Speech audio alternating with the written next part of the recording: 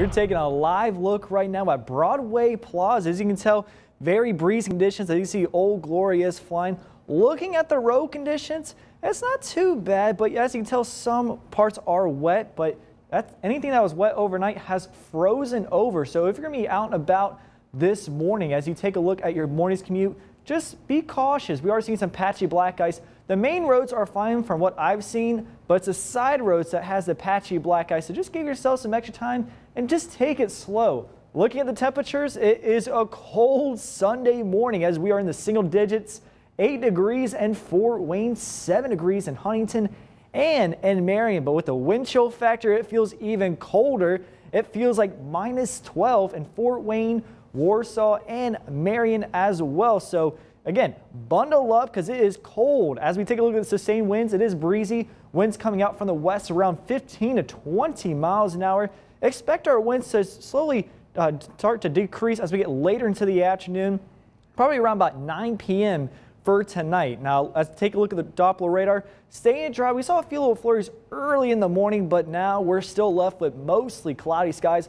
Looking at the future tracker, what the rest of our afternoon looks like, this particular model has maybe some few flurries passing through our area, but mainly I think we'll be more on the dry side of things. So weather headlines for the week ahead, cold today, drying out for most of the week. And guess what? Temperatures are warming up for us. So let's take a look about what's going on. So we had that storm system that was off towards our northeast that brought a little bit of snow, sleet, and rain. That's long gone off towards the east. Now we have a high pressure system that's going to move on in, drying things out for Monday. But this high will continue to move down towards the south.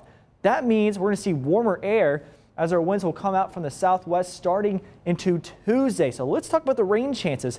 They are low, 20% chance for today, but I think we more on the dry side bone dry for the next five days. So, hey, we're to get a little nice little brief break of rain. Looking at the temperatures, get excited. I mean, we will be cold for today and tomorrow, but then Tuesday finally above normal, and then we'll be in the upper 30s to low 40s by the end of next week. So take a look at your out the door forecast for today. Make sure you bundle up. It will be cold and cloudy as we get through tonight. Overnight lows will be into the teens. Winds coming out from the northwest at 5 to 10 miles an hour. As we get to tomorrow, a little warmer compared of today. Our highs will be in the upper 20s, low 30s, partly cloudy skies. Some sunshine finally peeking out as you take a look at your extended forecast. And then Tuesday, mostly sunny skies. I'm excited because I haven't seen any sunshine. I've been here about eight days. It's been very cloudy. But then as we get towards Thursday, back into the 40s, but then rain chances will be coming back for next weekend.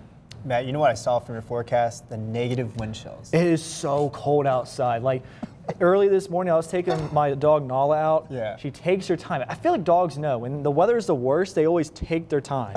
and it drives me crazy because it's so cold. And you're supposed to bring the warmer temps from North Carolina up here. I know. Well, I guess I just bring colder weather and cloudier weather. I'm sorry. I'll, I'll do my best next time. I'm trying. Mother Nature's just not answering my calls. Thanks, Matt. Coming up next on ABC 21 Morning News, the White House is making a statement ahead of the testimony this week. We'll tell you what the president and the Democrats are now saying. We'll have those details coming up after the break.